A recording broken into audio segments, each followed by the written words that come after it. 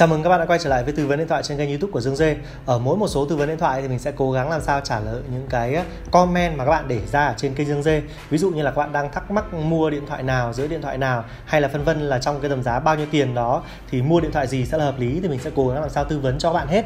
Thế tuy nhiên là ờ, khi mà các bạn để lại câu hỏi thì bạn cố gắng làm sao để lại những cái câu hỏi mà chưa ai hỏi bao giờ. Với cả những cái câu hỏi mà mà các bạn hỏi mình thì nếu mà câu hỏi đó được nhiều người quan tâm thì mình sẽ ờ, trả lời uh, những cái câu hỏi đó của các bạn. Bởi vì các bạn biết là mỗi một số tư vấn điện thoại thì có hàng trăm comment ấy. tuy nhiên là nếu mà trả lời hết cả cả trăm comment như thế thì ừ, video nó rất là dài khi phải uh, chục tiếng đồng hồ. Đấy nên là mình sẽ um, chỉ có thể trả lời được khoảng chục comment trong mỗi một video thôi.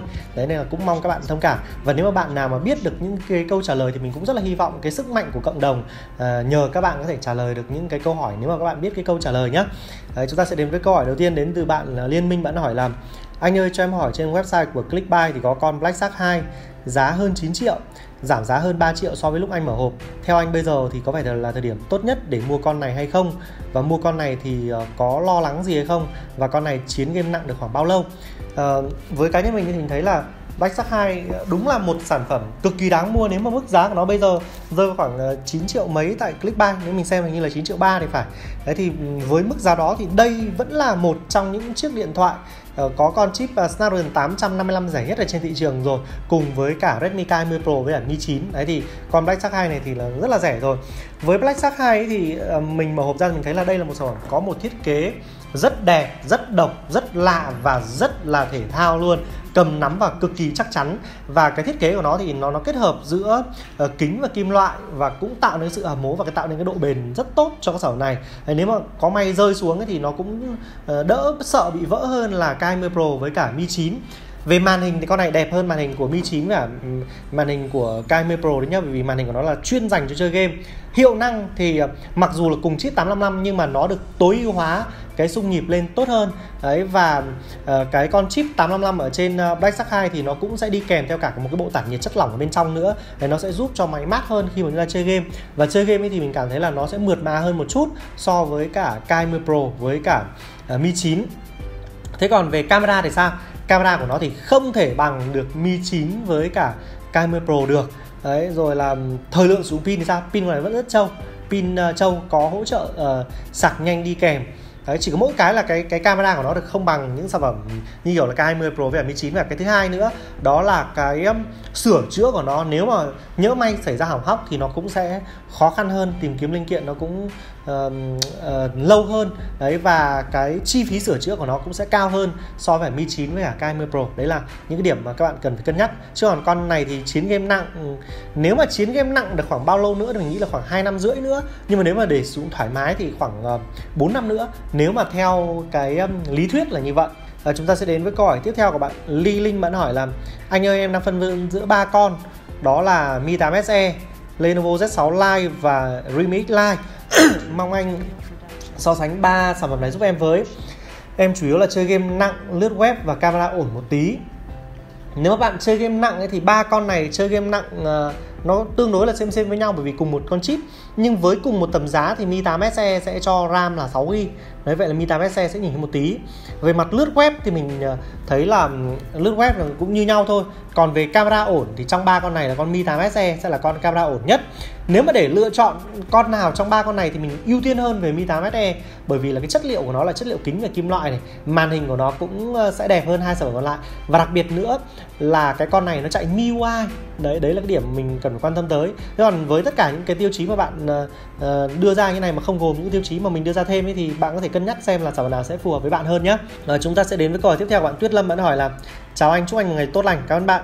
Em hỏi nhiều số rồi mà vẫn chưa được lên sóng số nào. Số này anh uh, so sánh giúp em uh, giữa nên mua Redmi Note 7 hay là cố tí để lên Samsung Galaxy M20 nhu cầu của em là pin trâu hiệu năng tốt chơi game mượt dùng trong 2 năm nữa và mọi người có thể uh, giúp em để em lên lên sóng hay không?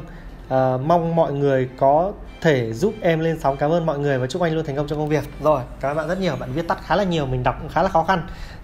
Với cái câu hỏi này của bạn ấy thì um, uh, mình sẽ nói luôn đấy là không cố lên Galaxy M20 bởi vì sao? Bởi vì M20 có quá nhiều điểm thua thiệt so với Redmi Note 7 thiết kế thua này màn hình uh, thì uh, màn hình TFT của M20 không thể bằng màn hình IPS của Redmi Note 7 được.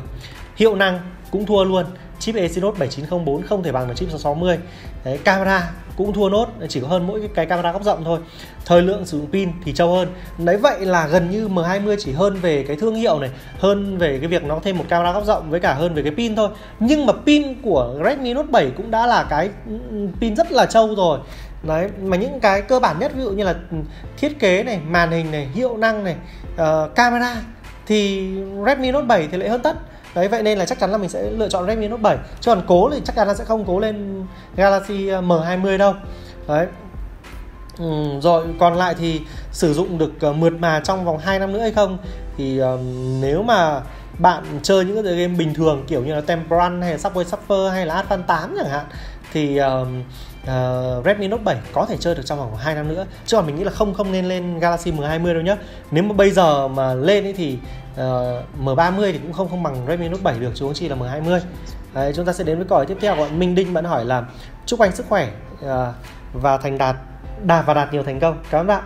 Anh tư vấn giúp em nên chọn Mi 8 SE sách tay giá 4 triệu 7 hay là LG V30 99% giá 4 triệu 1 ạ mong anh hồi đáp với các yêu cầu này các bạn ấy, thì mình so sánh so sánh thật nhanh. Thiết kế thì là tùy thuộc vào mắt mỗi người, nhưng mà mức độ hoàn thiện là LG V30 rõ ràng là tốt hơn. Màn hình 2K của LG V30 đẹp hơn. Hiệu năng chip 835 của LG V30 chắc chắn là sẽ ngon hơn là chip 710 trên Mi 8SE tuy nhiên đấy là về con chip thôi nha. Tuy nhiên là LG tối hóa con chip 835 ở mức độ rất bình thường. Nên là về những cái trải nghiệm chơi game thì hai sở này không chênh lệch nhau quá nhiều đâu. Đấy về mặt camera thì mình đánh giá là camera của LG V30 sẽ tốt hơn. Lại còn thêm cả camera góc rộng nữa. Xóa phông thì nó vẫn có thể giả lập xóa phông bằng camera chính được. Đấy, nhưng mà camera trước của nó thì rất tệ. Camera trước của nó thì không thể bằng Mi 8SE được. Đấy, thời lượng sử dụng pin thì con LG V30 sẽ nhỉnh hơn đấy. À, về Ờ, các yếu tố khác thì giải trí LG V30 sẽ tốt hơn. Đấy, nghe nhạc LG V30 cũng sẽ hay hơn. Kháng nước kháng bụi LG V30 cũng có. Đấy, nhưng mà Mi 8 SE thì lại có MIUI mà mình nghĩ là MIUI là cái cái sử dụng mình cảm thấy nó quen thuộc hơn và thân thiện hơn. Đấy, và thêm nữa là Mi 8 SE có hai sim trong khi đó LG V30 chỉ có một sim mà thôi. Tuy nhiên bây giờ lựa chọn sản phẩm nào trong hai sản phẩm này thì rõ ràng là V30 có nhiều điểm hơn và hàng thì mình thấy là nó cũng rất là mới, không phải là quá cũ và hàng dựng thì gần như là không có đâu. Đấy, và mức giá của nó lại rẻ hơn đến tận 600 nghìn, nên là mình sẽ lựa chọn LG V30 thay vì Mi 8 SE chúng ta sẽ đến với câu hỏi tiếp theo của bạn Ngọc Tân Nguyễn. Bạn hỏi là, chào anh Dương, chúc à, anh ngày mới vui vẻ. Cảm ơn bạn. À, năm tới em học lớp 12 mà bây giờ chưa có điện thoại. Em đang có 6 triệu trong tay mà chưa biết mua điện thoại nào. Anh có thể tư vấn cho em máy nào có camera ngon, liên quân lướt Facebook, YouTube em chỉ mua hàng chính hãng và pin uh, châu 4000 là ok. Mong anh trả lời và lên sóng. Uh, với các yêu cầu này các bạn ấy thì thực ra là trong tầm giá dưới 6 triệu mà lại hàng chính hãng bạn không thể lựa chọn được sản phẩm nào có con chip mạnh hơn con chip 710 vậy là con chip 710 là con chip mạnh mẽ nhất ở trong tầm giá đó rồi. Đấy camera cũng gọi phải gọi là ngon ngon một chút gọi là ngon ở đây là ngon ở trong tầm giá thôi nhé thì à, mình đưa ra đây đó chính là Realme 3 Pro. Đấy, đây là một sản phẩm có một cái thiết kế tương đối bắt mắt màn hình đẹp hiệu năng tốt nhất ở trong tầm giá hàng chính hãng camera thuộc dạng ổn pin thì rất trâu 4000 mAh có hỗ trợ công nghệ sạc nhanh luôn. Ờ, sạc nhanh của nó lại là sạc nhanh VOC 3.0 vậy nên là đây sẽ là sản phẩm phù hợp nhất với bạn để cho bạn có thể mua về trong tầm giá dưới 6 triệu hàng chính hãng mới 100% Đấy, chúng ta sẽ đến với câu hỏi tiếp theo của bạn Nam Trần bạn hỏi là em chào anh à, cho em hỏi là tầm giá từ 8 triệu đến 11 triệu thì con nào pin trâu chụp hình chất lượng và dùng chip Snapdragon hàng chính hãng? Em cảm ơn anh mong anh tư vấn. Với các yêu cầu này của bạn ấy thì mình thấy là um, chúng ta sẽ có một trong những sự lựa chọn sau. Thứ nhất nếu mà cái tầm giá mà gần gần 8 triệu thì sẽ có Xiaomi Mi 9T đây là sản phẩm đáp ứng được rất nhiều các cái tiêu chí ví dụ như là thiết kế đẹp màn hình đẹp hiệu năng uh, rất tốt với chip 730 đấy uh, camera cũng thuộc dạng rất tốt ở trong tầm giá thời lượng pin rất trâu 4000 mAh. Và sản phẩm này sử dụng chip Snapdragon 730 có thể sử dụng được lâu dài ít nhất là trong vòng khoảng 2 năm nữa. Đấy, tuy nhiên nếu mà bạn chấp nhận hy sinh một chút về pin và cái tầm giá của bạn nó cũng phải lên lên một chút ít nhất là phải từ tầm 10 triệu đến 11 triệu bạn có thể lựa chọn mua Xiaomi Mi 9 hàng chính hãng. Ờ, sản phẩm này thì sử dụng con chip Snapdragon 855 tất cả các yếu tố khác của nó thì nó cũng khá là xem xem với cái con um, K20 um, à với với con Mi 9T kia. Đấy mỗi cái hiệu năng của nó này hơn rất là nhiều. Camera của nó vẫn nhỉnh hơn đấy nhá. Đấy, nhưng mà cái pin của nó thì lại bị cắt giảm đi từ ờ, 4.000 xuống chỉ còn là 3.300 thôi. Pin nó yếu hơn. Đấy nên là bạn phải cân nhắc xem xem là cái sản phẩm nào nó sẽ phù hợp hơn với bạn. Nếu mà là mình mình nói luôn mình sẽ mua mi 9 đấy chấp nhận hy sinh một tí về pin cũng được.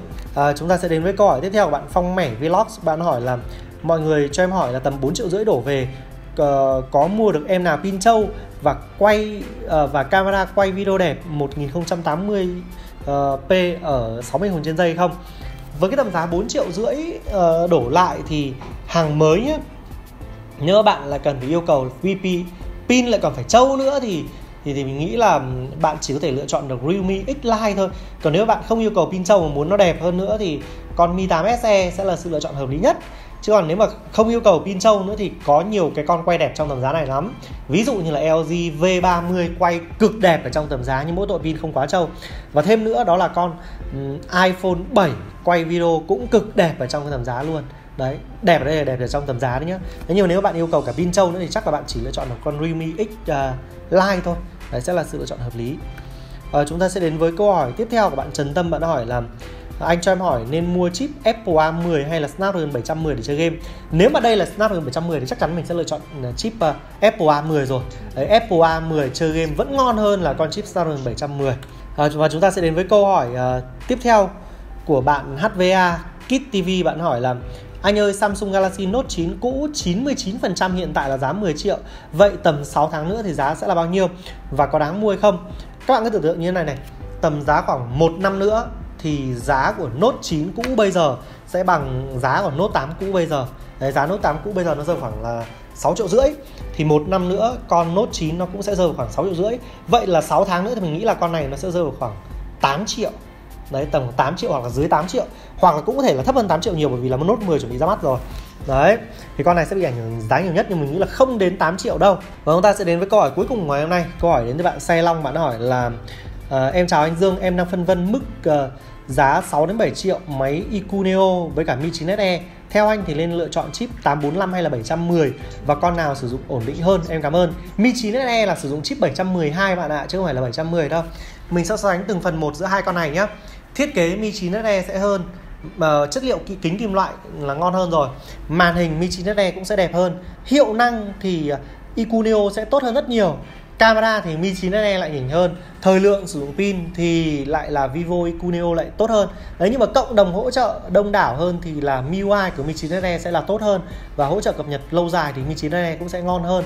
Đấy Để lựa chọn sản phẩm nào trong hai sản phẩm này thì nếu mà bạn cực kỳ ưu tiên về mặt pin và hiệu năng thì hãng lựa chọn Vivo Icuneo Còn nếu mà bạn quan trọng về thiết kế, về ờ, camera và về ờ, MIUI về cả màn hình nữa thì bạn sẽ lựa chọn Mi 9SE đấy nhưng mà cá nhân mình thì mình thấy là cái sự chênh lệch giữa chip với pin giữa hai con này nó lớn quá nên là mình sẽ ưu tiên mua Vivo IQ Neo hơn đó. Và như vậy là câu hỏi của bạn ờ, Xe Long cũng là câu hỏi cuối cùng kết thúc số tư vấn điện thoại ngày hôm nay. Cảm ơn bạn rất nhiều. Còn bây giờ thì xin chào và hẹn gặp lại.